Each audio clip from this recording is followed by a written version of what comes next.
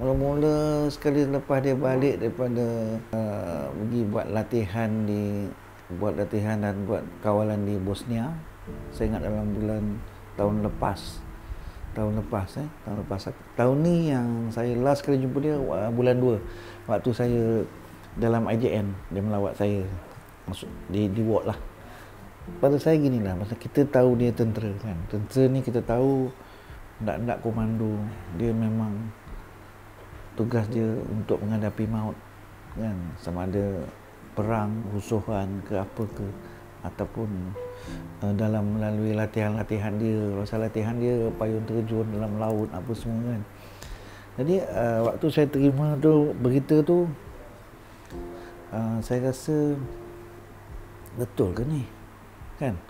Cuma yang berpusing dalam kepala kita adakah di tengah uh, nak apa merelaikan orang tunjuk perasaan ke ataupun dia tengah uh, kena attack dengan dengan uh, musuh ke? Uh, jadi kita tak tak konsisten masa tu tak rasa-rasa iya ke? Benda ke?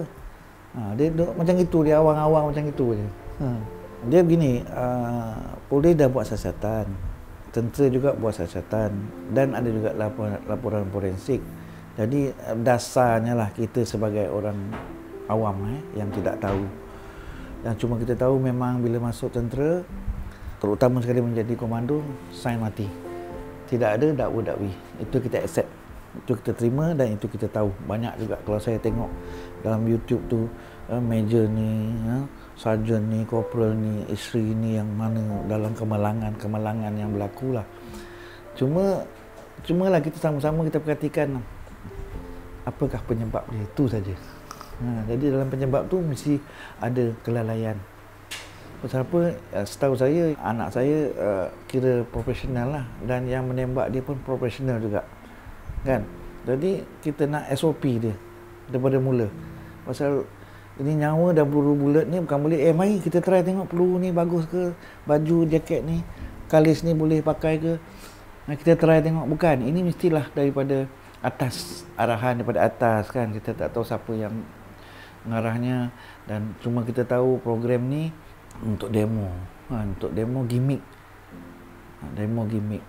Bila dah jadi macam ni uh, tidak mendalam kepada sebab-sebab kejadian. Dia hanya uh, kabarkan ini nak buat gimmick peluru tersasar. Ha, itulah saya rasa ada sikit uh, kurang penerangan lah daripada situ lah. Pasal apa peluru ni kita jangan nyawa dan peluru ni bukan barang mainan lah pada saya. Setiap orang yang memberi arahan mengadakan uh, gimmick itu pun mestilah bukan sebarangan orang. Kan? Ha, jadi bila dah tentera bila dah nak buat macam gitu persiapan dia mesti lebih kan? Lebih teliti pada saya lah sebagai orang awam yang tak tahu prosedur ni semualah bagi pihak kami mula-mula first sekali saya ucap terima kasih kepada pihak tentera kerana pengurusan jenazah dengan baik ya, pengurusannya semua dengan selamat. Dan terima kasih juga kepada uh, uh, orang-orang besar VIP ketua-ketua tentera yang turun menziarahi termasuklah menteri besar dan ucapan takziah daripada yang di-Pertuan Agong maknanya uh, anak saya ini dia beruntung kerana dapat perhatian yang saya rasa meluas dan uh, tinggi ya, tinggi dan yang menghargai dia lah. Jadi untuk kalau kata kita nak buat apa-apa tu kita rasa kita kena tunggu daripada uh, catatan uh, akan tentera. Polis dah mengatakan tak sengaja. Uh, tapi sepada saya mudah sangatlah dia punya kan bukan kita nak menuduh bukan kita nak nuduh bukan kita nak ambil tahu bukan kita nak menentang siasatan bukan kita ni pandai sangat tapi pada saya mati alasan dia kalau tak sengaja tu kan. Dan kita tidak juga menuduh yang dia memang nak membunuh nak menembak kan. Kita nak SOP dia. Ha. siapa yang arah untuk apa macam mana jadi macam ini. Takkanlah mereka semasa nak adu tu tidak ada persediaan persediaan. Persediaan maksudnya kalau jadi macam mana kalau ada pasal orang ramai tau sana. Banyak tentera lain. Kalau tersasar ke lain, macam mana? Ha, dan saya pelik juga lah. Banyak yang mengatakan kenapa uh, terlalu dekat. Padahal peluru ni kau pergi kat ujung sana pun tembak pun kalau kena pun terbalik ke ha, jadi kita tak tak tahu in deep dia tu dalaman dia tu sebenarnya kita tak faham itu yang buat kita rasa macam mana eh ha, macam itulah kan harap-harap pihak polis dan tentera memberi dapat memberi satu gambaran yang kita rasa oh ini yang barulah takdir. Ha kita tu lah pasal memang uh, mati bila-bila saja kehendak Allah. Kita cuma boleh mengatakan uh, Allah lebih menyayangi dia kan? Itu kita cuma dalam berkata-kata sahaja kan? Tapi yang sebenarnya macam orang aksiden juga. Haji keluar bermotor nak pergi sembahyang kena langgar kita mengatakan Allah sayang kepada tapi sebabnya adakah kecuaian daripada kereta pemandu tu? Adakah daripada Haji ini sendiri keluar tak tengok kiri kanan? Ha, jadi kita kita rasa dekat situ je lah dia punya ano, bukan kita nak menang pelak siapa-siapa cuma saya rasa dia punya yang tak tak tak tak tak steady tak relax tak tenang di, di bahagian itulah. Kerana ini kematian. Saya tak ada apalah cuma mengharapkan kepada kerajaan uh, memberi uh, gambaran dan jawapan yang yang apa yang amat diharapkan supaya kita tidak sebagai ayah dan sebagai keluarga yang tidak rasa terkilan di atas pemeligian dia atas kematian dia. Kalau dia dalam berperang kat tadi kan dia meleraikan uh, apa macam arwah adibnya kisah tu kan ha, tu tengok macam mana tu kan. Ha, jadi kita pun tidak ada di sana dan kita tidak tahu prosedur kita tidak tahu SOP dia kita tidak tahu mana silap dia. Jadi kita pun tidak bolehlah bercakap sewenang-wenangnya nak menuduh pada siapa-siapa. Cuma pada saya harapkan uh, mudah-mudahan uh, kita dapat satu gambaran yang yang apa yang yang kita rasa oh ini Allah kehendak Allah. Macam itulah bukan kehendak manusia banyak yang uh, kawan-kawan saya mengatakan uh, pasal mula dia tengok private lapuk. Ha, di situlah tak tahu itu gurauan ke sebenarnya pun kita tak tahu. Tapi dia orang semua pergi konang sana. Dia pasal tengok kau jadi askar ni dia masuk askar. Dia macam gitulah. Memang tak ada keluarga kami darah ke keturunan askar semua tak ada. Semua orang seni tapi dia seorang saja. Lepas tu Allah bagi dia istimewa eh? dari segi keberanian dia dia punya uh, terbaik penembak terbaik jadi kita rasa you know, lah bukan kita dia rasa rugi hilang kerajaan juga hilang kerajaan juga kehilangan. Ini baru nama kehilangan betul-betul. Kan, kerana besok nak pergi perang kan nak pergi apa semua. Kurang satu orang macam ni. Macam mana? Ha, itulah dia. Kalau saya itulah. Mudah-mudahan eh, kita dapat yang supaya orang ramai pun tidak banyak orang ramai kan mengasak kita, mengata kita mana patut ni tak betul pada saya tenang je lah. Yang biarlah orang yang tahu yang buat.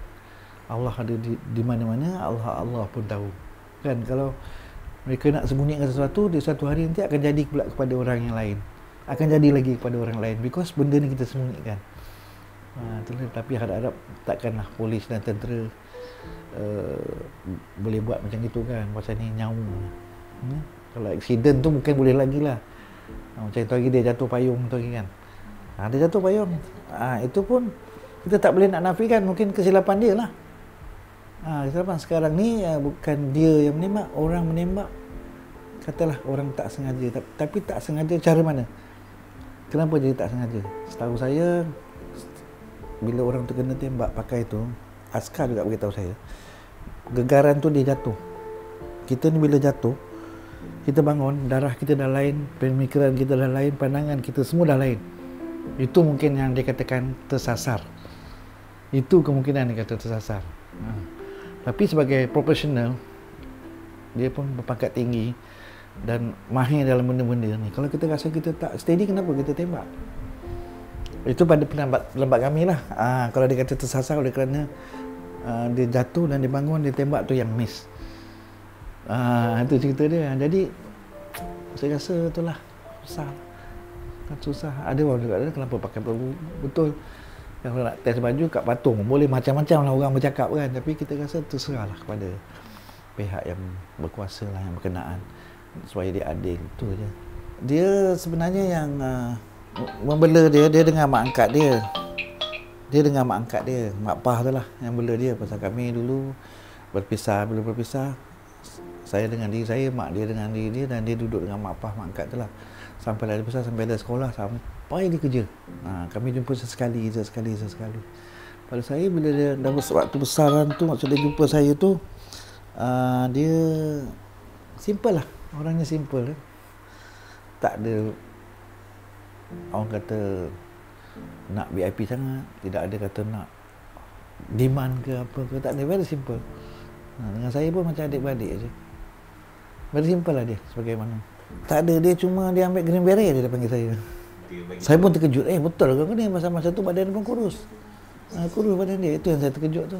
Bendang-bendang kau ni lulus ke? Jadi jadi komando. Bukan jadi askar loh jadi komando. Kau boleh lulus. Kalau tengok dia kan.